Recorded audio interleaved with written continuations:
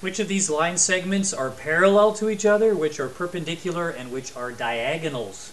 Let's take a look at that.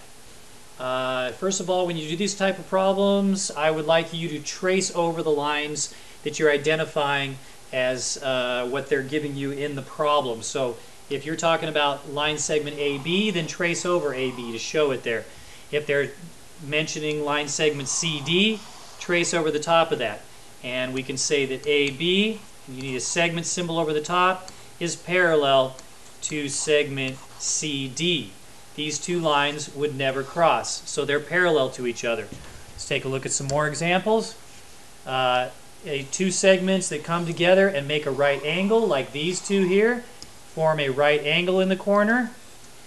They are perpendicular to each other, so we could say that AB is perpendicular to BD with a segment symbol over the top. These two are not perpendicular to each other.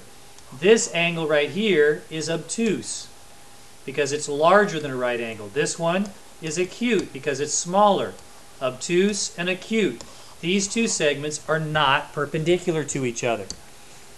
Right, what we do call these, if they mention, say, this line segment here, and they ask you what that is, that's a diagonal. Diagonals go through the middle of the shape from corner to corner.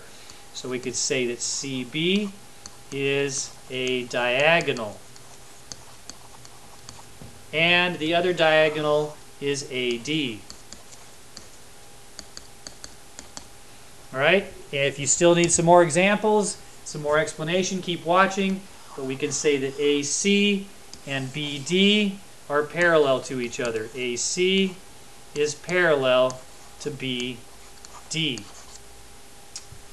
And how about some more perpendiculars?